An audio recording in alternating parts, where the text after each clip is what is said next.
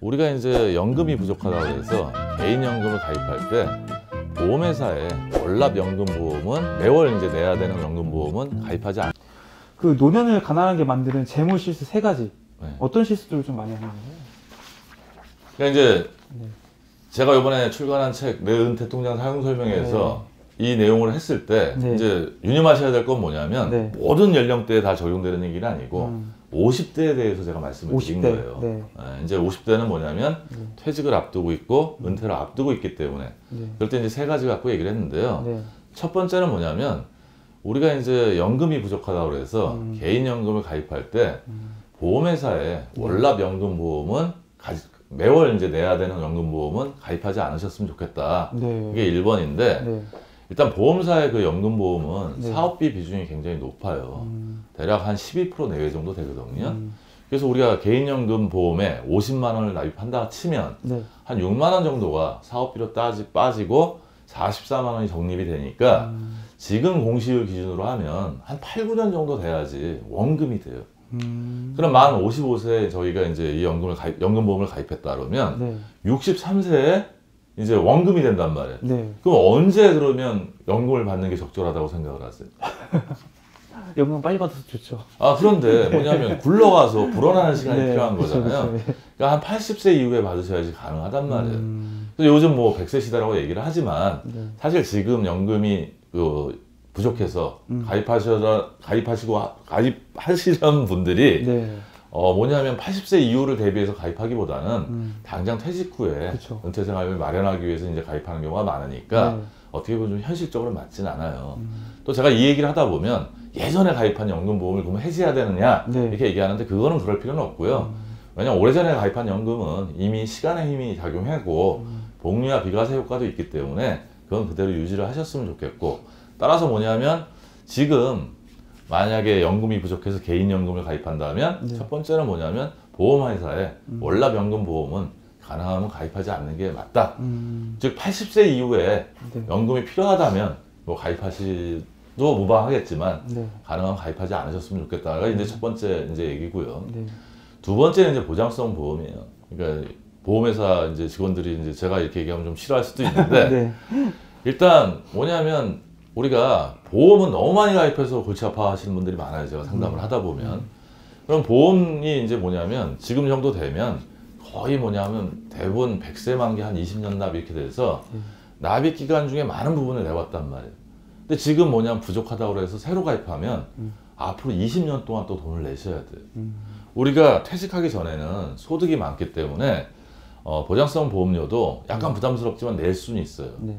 하지만 퇴직 후에는 보장성 보험료를 내는 게 만만치가 않다는 얘기죠. 소득이 많이 줄어들었기 때문에 네. 이제 이렇게 되는 상황에서 이제 갈아타든지 새로 가입하는 건 저는 답은 아니라고 생각을 하고요. 예를 들어서 또 하나 문제가 뭐냐면 30대 중반에 암보험을 한 2천만 원 보장 받는 걸 가입했어요. 근데 이제 그게 80세 만기로 가입했단 말이에요. 네. 그러니까 이렇게 가입했는데 어 지금 100세 시대니까 음. 이거 갈아타야 되는 거 아니냐 이렇게 되면 무슨 문제가 생기냐면 네. 80, 어, 30대 중반에 가입할 때는 암 진단비 2천만 원을 받더라도 네. 보험료가 굉장히 쌌어요. 음. 그런데 만약에 지금 55세에 그걸 해지하고 네. 새로 가입하면 일단 보험료도 비싸진답니다. 네. 같은 보장을 받는데 나이가 많으면 비싸지니까. 네. 그리고 이제 조금만 더 내면 끝나든지 이미 납입이 끝났는데 음. 100, 80세 만기가 불안해서 100세 만기로 갈아타면 뭐냐면 앞으로 20년을 내셔야 돼요. 음, 퇴직하기 전까지는 내실 수 있죠. 조금 네. 전에 제가 말씀드린 대로. 하지만 은퇴 후에는 민영 보험료만 있는 게 아니고 음. 은퇴 후에도 한 15년 정도 이상 내야 된단 말이에요. 네. 게다가 건강보험료에 세금까지 다 더해, 더해지는 부분이 있기 때문에 네. 굉장히 부담스럽고요. 그 다음에 이제 그 그렇게 해서 갈아타신 분들 중에 제가 이렇게 보면 노후에 좀 어려워져서 해지하거나 음. 부분 해약하시거나 그쵸. 이런 분들도 많으세요. 네. 그래서 두 번째는 뭐냐면 어, 부정성 보험이 조금 부족하면 네. 중요한 건 뭐냐면 새로 가입하고 이러신 것보다 없으면 가입하시는 게 맞아요. 네. 가능하면 저비용 고효율로. 네. 하지만 어, 어느 정도 좀 약간 부족하더라도 음. 중요한 건 뭐냐면 은퇴할 시점에 지금 자산 중에 한 2, 3천만 원 정도를 따로 떼놓고 네. 보험에서 약간 부족한 부분을 음. 차라리 벌충하는 게 음. 훨씬 유리하지 않을까 이렇게 생각을 하고요. 음. 마지막으로 이제 뭐 퇴직금인데요. 네. 퇴직급여라고 얘기하죠. 퇴직금이든 퇴직연금이든 이걸 일시금으로 받아갖고 네. 아주 불가피한 경우가 아니면 일시금으로 받아갖고 낭비하지 마시고 네. 가능하면 연금으로 받으셔갖고 음. 그 아까 제가 말씀드렸듯이 은퇴 후에 월급 받는 개념으로 받으시면 좋겠다는 거. 음. 그래서 뭐냐면 그럴 때또 네. 퇴직소득세도 한 3, 40% 아낄 수 있기 때문에 이 세 가지 제가 말씀드린 부분이 이제 50대에 하지 않으셨으면 좋겠다는 거. 음. 어, 그 말이 많은 이제 국민연금에 좀 여쭤보고 싶은데 네. 이건 사실 세대별로 좀 입장이 다른 네. 것 같긴 해요. 그 국민연금에 대해서 기본이 갖고 있는 생각이 일단 궁금합니다. 일단 국민연금은 네.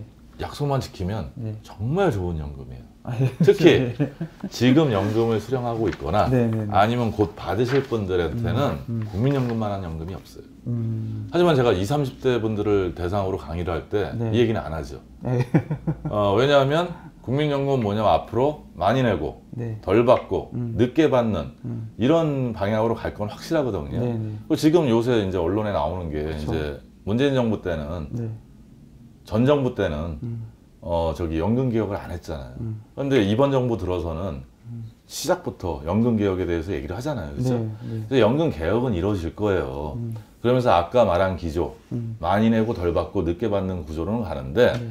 지금 예를 들어서 받고 있는 사람들 네. 그다음에 곧 받으실 분들한테는 저는 뭐 이만한 연금이 없는데 음. 크게 보면 두 가지라고 생각을 해요. 네. 하나는 뭐냐면 소득 재분배 효과가 있어요. 음. 그래서 이제 한 제 최저 소득이 한 335만 원, 음. 그 다음에 이제 최고 소득이 지금 553만 원 정도.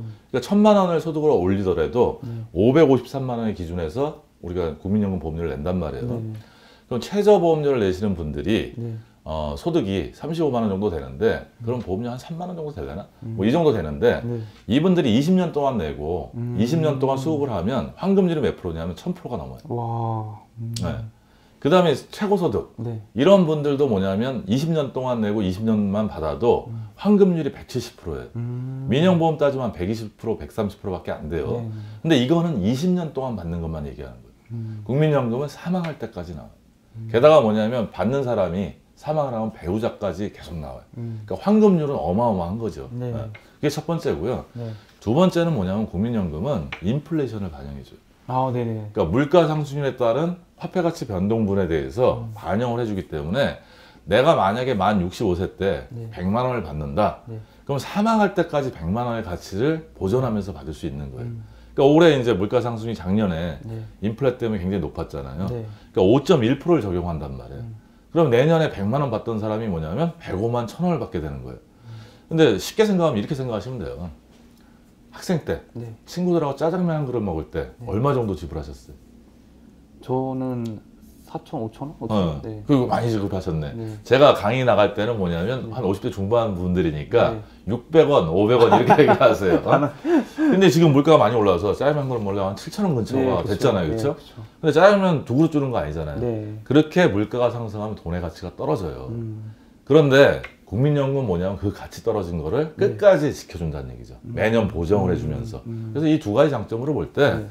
어, 20, 30대는 저는 뭐 제가 말하지만 네. 국민연금이 최고 연금입니다. 이렇게 말씀드리긴 현재는 좀 어렵고, 음. 어, 하지만 안 나오진 않아요. 음. 그러니까 만약에 국민연금이 나오지 않으면 네. 나라가 망한 거예요. 음. 세금으로도 안 되니까. 네, 네. 지금 공무원 연금이나 군인 연금의 일정 부분은 세금으로 충당을 하고 있잖아요. 음. 마찬가지 국민연금도 그런 개념이 될 거고 아까 말씀드린 대로 어, 많이 내고 덜 받고 늦게 받고 그 중에 제일 이제 위험스러운 건 뭐냐면 이제 처음 시도할 수 있는 거는 많이 내는 거겠죠. 음. 고갈이 이제 앞당겨지니까 일단 네, 네. 지금 9% 내고 있거든요. 네. 회사가 4.5% 네, 개인이 네. 4.5% 이게 뭐 한 12% 정도로 는다든지 음. 뭐 이렇게 하고 여러 가지 지금 안이 나오는데 사실은 이거를 실행에 옮기기에는 어렵죠. 어마어마한 리스크가 따를 거예요 정치에 있어서 음. 왜냐하면 받고 있는 사람한테 뺏을 수도 없는 거고 그렇죠. 곧 받을 사람들한테 아 70세에 받으세요 아니면 연금액 확 줄여서 이렇게 된다 그러면 네. 거의 뭐 이거는 저기 외국 같은 경우는 연금 개혁할 때마다 폭동이 일어나요 어. 우리는 아직 그럴 만한 개혁을 하지 않았기 때문에 이제 그런 부분이 없는데 네. 어, 미세하게씩 뭐 조절은 되더라도 음. 당분간은 뭐 그래도 걱정하지 않아도 되지 않냐 어, 음. 이렇게 생각을 해요 네. 그럼 20, 30대는 제가 봤을 때 뭐 국민연금이 안 좋아질 것 같아요. 네. 그럼 이제 그 50대 분들은 무조건 많이 늘리고 많이 넣는 게 좋은 건가요? 저는 강의 가서 대부분이 50대 중반 이후시기 때문에 네, 네. 아까 말한 유리한 조건에 선택된 사람들이에요. 음, 음. 대부분 뭐 만 63세 지금 받고 계신 분들은 이제 이미 은퇴를 하신 거고 네, 네. 만 63세, 만 64세, 뭐 1969년생 이후가 만 65세에 받아요. 네. 그러니까 불과 몇 년 남으신 분들이니까 네. 이럴 때는 저는 뭐 늘리는 게 좀 유리하지. 늘려라. 아 유, 유리하다. 음. 그래서 국민연금은 뭐냐면 늘리는 방법은 네. 국민연금을 많이 받는 방법은 네. 많이 내거나 네. 아니면 가입 기간을 늘리는 거예요. 음. 근데 많이 내는 건 내가 내고 싶다고 해서 낼 수가 없어요. 네. 왜? 급여의 일정 부분을 음. 9%를 해갖고 반반 내는 거니까요. 네.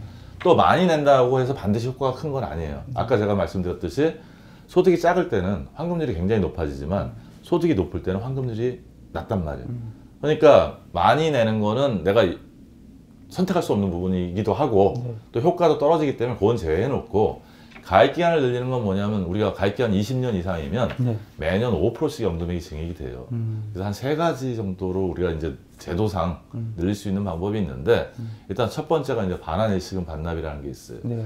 제가 이제 첫 직장을 진도라는 회사를 다녔어요. 네. 그때는 직장 가입자였죠. 97년에 우연히 지금은 신한 라이프고요. 제가 입사할 때는 네덜란드 생명이었는데 음. ING 생명으로 바뀌었던 네, 회사를 네. 우연하게 입사를 했는데 그때는 뭐냐면 직장 가입자에서 그만두고 1년이 지나면 네. 국민연금 냈던 거를 한 번에 돌려줬어요. 오, 네. 네, 그, 그때는. 네. 그러니까 2000년 이전, 1999년 이전이었던 것 같아요, 제 기억에. 돌려주니까 하는데, 제가 한 3, 4년 전부터 은퇴 재무 설계 강의를 본격적으로 다니다 보고, 네. 이런 제도를 알다 보니까 네. 깜빡 잊었던 걸 제가 생각이 난 거예요. 음. 그래서 국민연금관리공단 홈페이지 들어가서 이제 확인을 해봤어요. 네. 근데 제가 돌려받은 금액이 한 420만 원 정도? 오. 이 정도 되더라고요. 네. 그러면 이제 저도 이제 반납이라는 건 다시 그거를 돌려줘야 되잖아요. 네. 근데 그동안 뭐냐면 423만 원, 420만 원 정도만 돌려주면 되는 게 아니고 거의 이사가 붙어서. 네. 한 1,035만 원 정도를 제가 돌려줬어야 돼요. 음. 그러면 이렇게 반납을 했을 때 제가 누릴 수 있는 효과가 있어야 잖아요. 네. 그래서 누릴 수 있는 효과를 알아봤더니 연금액이 월 30만 원이 늘어나요. 와. 그러면 제가 뭐냐면 3년만 그쵸. 제가 연금을 받고 3년만 받으면 음. 그다음부터는 무조건 다 저한테 이득이란 말이에요. 그쵸. 그래서 저는 그냥 바로 살렸어요. 음. 따라서 이제 이 방송 보시는 선생님들 중에 네. 고무렵에 네. 반환 일시금 받으신 분들은 음. 이 제도를 한번 확인을 하셔야 되고 음. 또 하나 챙겨야 될 건 뭐냐면 이때는 소득 대체율이 70%였어요. 음. 직전 월급의 70% 정도 수준의 국민연금이 계산되게끔. 음. 근데 지금 소득 대체율이 몇 프로냐면 40% 초반대란 말이에요. 음. 그 시절에 내가 만약에 반납할 수 있으면 네. 가입 기간 늘리는 것도 좋지만 연금액이 늘어나는 효과도 있어요. 음. 두 번째는 이제 뭐 우리가 이제 추납이라고 보통 얘기를 하는데 네. 이거는 이제 여성분들한테 많이 적용이 돼요. 그러니까 배우자분들한테 이렇게 적용이 될 거예요. 그러니까 직장에 가입해서 국민연금 가입자였다가 네. 어, 직장을 그만두면서 가입자에서 전환이 된 거죠. 그래서 이제 안 내셨단 말이에요. 그래서 그거를 한 번에 내면 음. 가입 기간을 늘려주는 어떤 그런 제도가 있 제도가 네. 수납인데 한동안 뭐냐면 강남 사모님의 재테크라고 그래갖고 네. 이걸 뭐 그냥 그 한 2, 3년 직장 생활하고 네. 60세까지 그 기간 동안 거를 한 번에 내면서 음. 연금액이 한 번에 200만 원 늘어나고 막 이렇게 되신 분들이 있으니까 이게 아무래도 이건 좀 아니다 해서 이제 여론이 좀 안 좋았어요. 네. 그래서 이제 법이 바뀌어갖고 10년, 음. 즉 119개월까지만 추납이 가능한 이런 제도가 있고 또 그냥 남성분들에도 네. 중간에 뭐 직장을 우리가 한 직장에 계속 다니신 분들도 있지만 중간중간 끊어지신 분들 그쵸. 있잖아요. 네. 그럴 때 이제 내가 살리는 게 유리한지 음. 그 보면 아까 제가 반환일시금 반납할 때도 국민연금관리공단 홈페이지에서 확인하시라 그랬잖아요. 네. 추납의 효과도 거기서 확인할 수 있으니까 네. 효과 대비해서 하시고요. 한 가지 팁은 뭐냐면 지금 만약에 직장을 다니고 있어서 금액을 좀 많이 내고 있다면 음. 지금 추납하는 건 유리하지 않을 수도 있어요. 음. 왜냐면 금액이 많아지고 네. 어, 추납할 때는 뭐냐면 아까 국민연금은 4.5%를 회사가 내고 네. 4.5%를 내가 내잖아요. 이 9%를 다 내가 내야 돼요. 음. 그리고 보험료가 높으면 네. 수납하는 게 굉장히 부담스러우니까 국민연금 만 60세까지는 60세 이전까지는 의무 가입이거든요. 네. 그때 그만두고 임의 가입으로 해갖고 네. 추납을 하는 게 더 효과적일 수 있다는 부분. 음. 그래서 그 이득을 네. 한번 이득과 손실 이 부분을 좀 따져보셔서 결정하셔야 된다는 거. 음. 마지막으로 이제 임의 계속 가입이라는 제도가 있는데요. 네. 우리가 이제 보, 국민연금 만 18세에서 만 60세 직전까지가 의무 가입 기간이에요. 네. 이때는 소득이 있으면 무조건 내야 되는데 음. 국민연금 받기 이게 의무 기간이 끝나서 노령연금 즉 국민연금 받기 시작하는 기간까지 갭이 생기잖아요.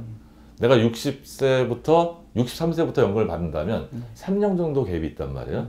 이때 내가 임의 계속 가입을 선택해서 보험료 요새 최소는 한 9만 원 정도 되거든요. 네. 그래서 가입 기간을 늘리는 방법이 있어요. 음. 사실 이 제도는 뭐냐면 국민연금 10년 이상 나입해야지 연금으로 받을 수 있어요. 네. 그 기간이 부족한 사람들이 선택하는 경우가 많은데 음. 저는 뭐냐면 여건이 된다 그러면 그 효과를 알아봐서 어, 추납을 하시는 게 제가 지금 말씀드린 건 20, 30대한테 하는 얘기 아닙니다. 네, 네, 네. 어, 이제 퇴직을 금방 하신 분들, 음. 퇴직이 가까우시고 은퇴가 이제 저기 60세 가까우신 분들이 할 때는 효과적일 수 있다는 부분. 이 세 가지 제도로 가입 기간을 늘릴 수 있습니다. 그 20, 30대는 반대로 하면 되나요? 20, 30대는 선택이 없죠. 음. 20, 30대는 제도 이게 이제 강제법이잖아요. 네, 네, 네. 그러니까 이제 우리가 뭐 이렇게 국민연금 가입을 선택할 수 있다면 20, 30대는 대부분 선택 안 하실 것 같아요. 최소화 시키는 게 좋다는. 아, 요, 요즘 그렇게 네, 하실 거예요. 네, 근데 이제 20, 30대는 뭐냐면 급여 받으면 네. 내가 내기 싫어도 4.5% 내셔야 아, 돼요. 그쵸, 그건 내야겠죠. 예. 어, 그러니까 근데 그걸 뭐- 내가 선택할 수 있는 상황은 아니죠. 음, 20, 30대는 뭐 미리 이 제도가 아니고 음. 네네. 나중에 은퇴할 즈음에 음, 국민연금 제도가 어떻게 바뀌냐에 따라서 네. 그때 대응을 하시면 될 것 같고요. 음, 네. 음. 아니, 그 저희 아버지도 고민 많이 하셨는데 이제 조기 수령이라는 게 있잖아요. 네. 미리 이제 좀 내가 월 수령 좀 다운 시켜서 몇 년 앞당겨 받는 제도가 있잖아요. 그런 거 어떻게 생각하세요? 그러니까 일단 우리가 5년 정도 앞당겨 받으면 그런 연금을 조기연금이라고 얘기를 하고 네. 국민연금 받는다. 음. 어, 살아서 제때 받는다 그러면 우리가 그걸 노령연금이라고 하고 네. 5년 늦춰서 받을 수 있는데 그걸 연기연금이라고 얘기를 해요. 음. 그럼 조기연금을 받을 때는 네. 연간 뭐냐면 연금액이 6%씩 감액이 돼요. 음. 그래서 5년 조기로 땡겨서 받으면 네. 최대 30%까지 감액이 되거든요. 그럼 무슨 얘기냐? 내가 65세에 100만 원을 네. 노령연금을 받는다 그러면 5년을 땡겨 받으면 70만 원부터 스타트를 하는 거예요. 음. 반면에 이제 연기연금은 1년 늦출 때마다 7.2%씩 네. 어, 증액이 돼요. 네. 그래서 5년을 증, 저기 연기를 하면 36%가 증액이 돼서 음. 쫑 같은 기준으로 하면 처음 스타트가 136만 원부터 시작하는 거죠. 네. 그래서 제가 강의나 상담할 때 항상 어떤 말씀을 드리냐면 우리가 이런 것들을 선택할 때 뭐냐면 평균 수명에 근거해서 음. 의사결정을 좀 하시라고 얘기를 해요. 네.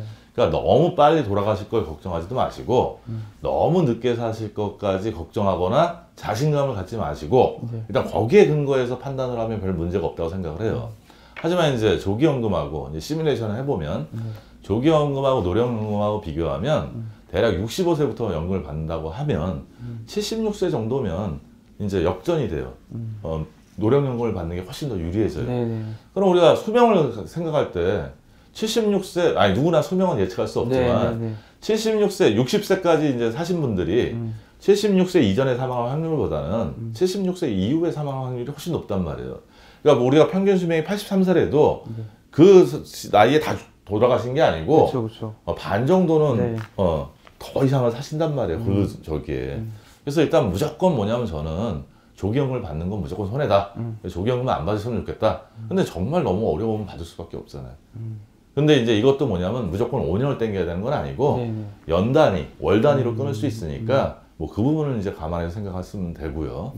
그 다음에 이제 노령연금하고 연기연금 같은 경우는 네. 그냥 83세 정도에 이제 역전이 일어나요. 연기연금이 더 많아져요. 그러니까 그때 뭐냐면 되니까 저는 뭐냐면 노령연금이나 네. 연기연금은 아무거나 선택해도 관계가 없다. 음. 단 뭐냐면 연기연금을 선택해야 될 때가 있어요. 네. 언제냐면 노령연금을 받기 시작해서 네. 우리가 근로소득이나 네. 사업소득으로 소득이 많은 일을 하게 되면 음.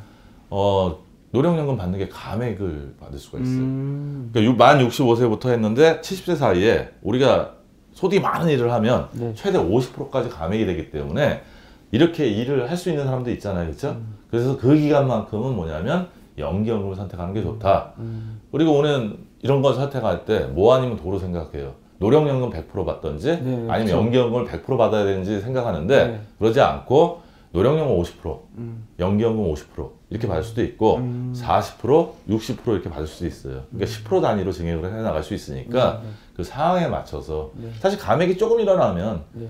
아쉬우면 더 빨리 받는 것도 맞을 수 있잖아요. 네, 네. 그래서 그때 가서 잘 판단하셨으면 좋겠어요. 근데 기본적으로는 평균 수명에 근거했을 때는 조기 수령은 좋지 않다. 아, 그렇죠. 무조건 네. 손해죠. 무조건 그래서 손해. 조기연금을 보통 우리가 손해연금이라고 얘기를 해요. 음. 네.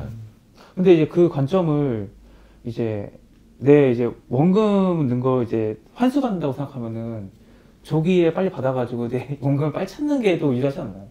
아니 근데 이제 아그 곱게 받아서 수익률을 올린다는 가정을 하시는 건가요? 네. 그게 얼마 차이 있을까요? 저는 제때 받는 것보다 그 역전 현상에서는 몇 천만 원, 뭐 억 단위로 나중에 뒤로 가면 오래 사실수록 네. 차이가 있는데 그거 받아서 미리 굴린다? 저는 그거보다는 제때 받는 게 훨씬 유리할 것 같아요. 게다가 이제 또 이제 어떤 경우가 있냐면 네. 어, 건강보험 때문에 네. 그러니까 요새 이제 피부양자 등재 조건이 맞아요. 되게 어려워졌어요. 네. 옛날에는 뭐냐면 합산 소득이 3,400만 원 음. 어, 이하면 가능했단 말이에요. 네. 근데 이게 2천만 원 줄어들면서 언론에서 무슨 얘기를 하냐면 네. 어, 167만 원 이상 안 받게 조정하려면 손해연금을 받아야 된다, 아니 조기연금을 받아야 된다 이렇게 나오는 음. 기사들이 있어요. 음. 저는 절대 그렇게 하지 마시라고 얘기를 해요. 음. 왜 그러냐? 첫째, 일단 뭐냐면 요번에 이 건강보험 2단계 개편 때문에 네. 탈락한 사람들의 대부분은 공무원들이 음. 공무원 연금이 이제 그 네. 뭐냐면 많이 받으니까 네. 3,400 그, 그 선에서는 살아남을 수 있었지만 네. 2천 선에는 다 무너졌단 말이에요. 근데 사실 국민연금 가입자는 한 2천 몇 명밖에 안 돼요. 음. 그 다음에 배우자 동반 탈락 때문에 4천 명이란 말이에요. 네. 일단 아직은 국민연금 받는 액수가 많지 않기 때문에 음. 일단 그것 때문에 조기연금을 받을 필요는 1번 없다고 보고 네. 두 번째 맞췄어요. 166만 원으로 165만 원, 뭐 160만 원으로 맞췄다고 쳐요. 근데 아까 제가 말씀드렸잖아요. 국민연금 뭐냐면 매년 물가 상승률을 보정해 준단 말이에요. 그럼 2, 3년 후에 물가를 다 반영해 주면 지금 맞춰놓은 게 오버될 수 있다. 그렇죠, 그렇죠. 그리고 이제 또 하나 이제 뭐냐면 피부양자 말고 어 국민연금 보험료 10만 원올때 이제 그 뭐냐면 지역 보험료로 갈때 네. 근로소득하고 연금소득이 과거에는 30%만 반영을 했는데 지금 50%를 반영했단 말이에요.